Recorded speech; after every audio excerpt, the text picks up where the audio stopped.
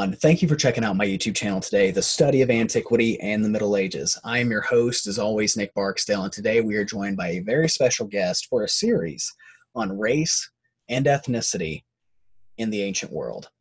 Dr. Rebecca Futo Kennedy, thank you so much for coming on today. Happy to be here. Dr. Louise Hitchcock asked me to ask you if you would explain the Dorian invasion to not just me, but to my audience, such as did it happen? And if not, why does it persist? Yeah, so um, this is a huge split traditionally. Nowadays, pretty much nobody in the last, nobody over the last, I don't know, 200 years really. Um, actually, I would give it, nobody in the, since the 1960s or 70s actually believes that this thing was ever real, uh, that it is in fact a fabrication made in starting in the 1830s from ancient sources that could or could not be interpreted that way and from the imposition of a theory of linguistic diffusion of the indo-european uh, family of languages uh, onto a sort of militaristic invasion model. Um, so i'll start with what it is and then explain why i just referred to it that way and um, etc but what it is is this idea that Dorian Greeks are actually Northern Europeans who invaded down into the Greek peninsula, specifically into the Peloponnese, not to Attica, um, but into the Peloponnese, um, where the what we call the Dorian dialect um, is the was the dominant form in antiquity uh, of, of Greek, and not the only one, but one of the dominant ones, right? There is a bunch of dialects in the Peloponnese. And that this has been tied traditionally to one, like I said, the idea of trying to figure out how languages dispersed over time.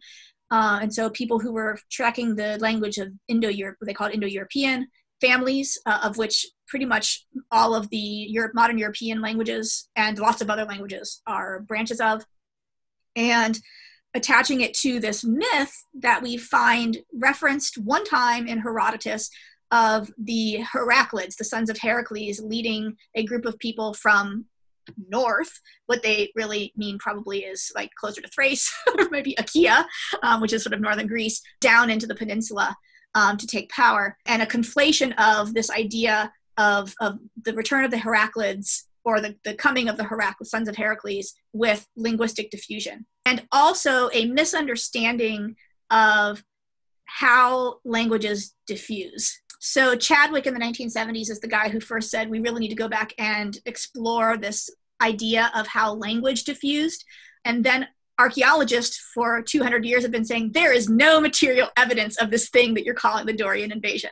So the linguistic language model was being preferred against the complete non existence of archaeological evidence, but it persisted. Uh, in part because one, there is a strong tendency in our sources starting in the 1830s, particularly in Germany, of thinking through nationalistic lenses, but also um, thinking through racial lenses.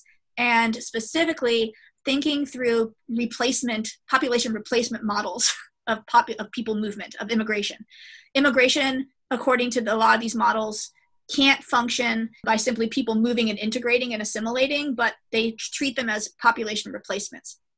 And that just doesn't show up in the archaeological evidence anywhere and it doesn't show up in genetic evidence either. There's been a lot of uh, uh attempts recently um, for in ADNA study, studies to use to re reify this idea of a Dorian invasion by saying, "Oh, look, we're doing DNA testing, and look, there's 14% of this genome that re- expresses as Northern European, and so there's evidence of the of the Dorian invasion." Um, no, actually, like seven to 14% of DNA suggests diffusion and assimilation modeling, not invasion or replacement. Um, but so one of the reasons why this model perpetuates and continues to be popular is in fact because it is explicitly tied to race theories um, and explicitly tied to um, what became Nazi race theories, but actually predates that by over 100 years. And it occurs, and I think one of the reasons why it's really perpetuated is because it occurs in Madison Grant's Passing of the Great Race. and that is like one of the source texts for the Nazis, actually, for Hitler, that they used. Uh, he loved Madison Grant. Um, and it's actually one of the most diff- diver- uh, sort of diversely referred to texts on the internet by people who reference this model. So I'm going to show you a map of what this looks like in a German textbook from before, so from uh, 1939 German textbook. So this is from a German textbook from 1939. Um, if you look at a linguistic map, the place wherein the Dorians came from is at, like where the Indo-European language came from is like over here, sort of in the in the steppes near uh, Central Asia. Um, but by the time we get to um, so the 1830s Dorian model, uh, and then we get to Madison Grant others, that model has switched to here, right? So this idea that you have these sort of central Germanic peoples, and um, this is when we also sort of see this idea of a Nordic model um, moving down into Greece.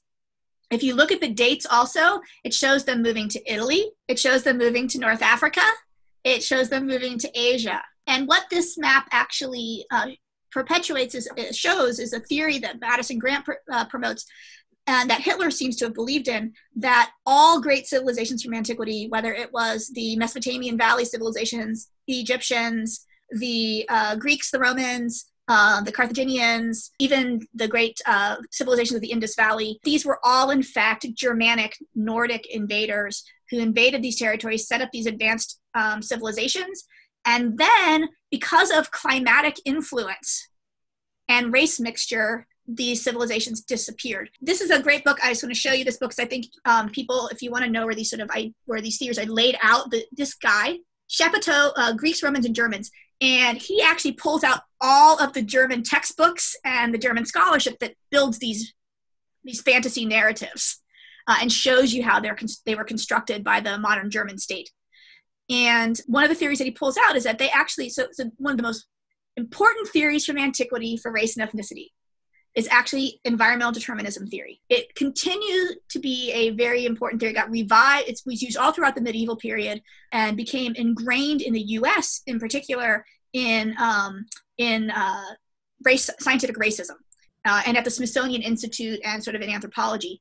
Um, but Hitler actually argued at one point or said at one point that the, the reason why the, the first German settling of ancient Greece didn't work is because the climate corrupted them.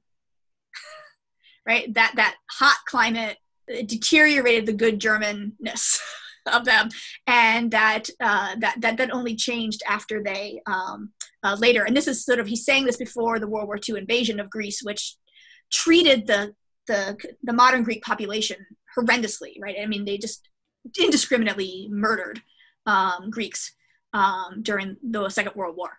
And that was part of the rationalization is that the ancient culture belonged to Germans, it didn't belong to Greeks. Uh, so, and that's a long-standing theory that goes back to this Dorian model and promoted by German historians like Fallmerayer and others, and who actually argued too that the modern Greek population was Slavic, not Greek. So, so there you go. That's the Dorian invasion, uh, and the reasons for this perpetuation is is purely racism. so if you if you want to know.